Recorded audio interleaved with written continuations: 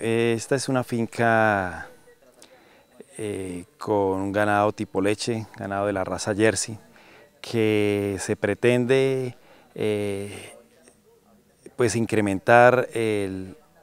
núcleo con el cual se, inició, que fue un núcleo de, nueve animales, nueve hembras, eh, las cuales ya están en producción y de las cuales en este momento tenemos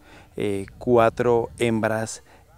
eh, como producto de sus, de sus crías y pues aspiramos a que podamos eh, estar incrementando este dato para incrementar de la misma manera pues la, producción de leche que es básicamente lo que nosotros eh, pretendemos. Lo que se quiere de, incrementar el, número de animales es en base a, este núcleo primario que se inició, no consiguiendo ni comprando más animales en otras partes, sino teniendo esta base. Eso nos, nos permite ir mejorando algunos otros aspectos en la finca, eh, como el establecimiento de las praderas, como el establecimiento de los bancos de, leguminosas, como eh, los sistemas de riego para, para el pasto de corte eh, y de la misma manera ir implementando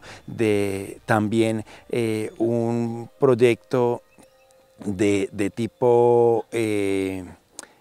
sanitario en la finca donde ya se, conseguimos que la finca sea una finca libre de brucelosis bovina, libre de tuberculosis bovina, eh, eh, es una finca eh, que la pretendemos certificar en buenas prácticas ganaderas, también con el objeto de darle un valor agregado a los productos que se sacan de, se obtienen de la leche que se produce en la finca. Productivo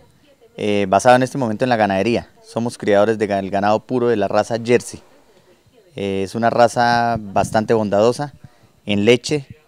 Eh, es la raza de ganado bovino que tiene la mejor leche que existe en sus contenidos sólidos, grasa y proteína. Esta es una empresa familiar, consta de siete hermanos. es una finca relativamente muy pequeña, una finca de 21 hectáreas eh, estamos manejando muy bien la parte de recursos naturales, recursos hídricos, conservando las microcuencas, conservando los aljibes. Eh, manejamos muy bien las escorrentías de aguas lluvias, estamos almacenando aguas lluvias, con eso nos sostenemos en todo el verano. Eh, estamos regando pastos, sembrando maíz ahorita en esta época crítica de verano, manejando los, los bancos de proteínas con botón de oro, con aro, Vamos a empezar a implantar la mórera, eh, botón de oro, chachafruto. Eh, también estamos sembrando guandul, que es un frijol que contiene muy alto índice de proteína, para suplementar el ganado y bajar al máximo el consumo de concentrados.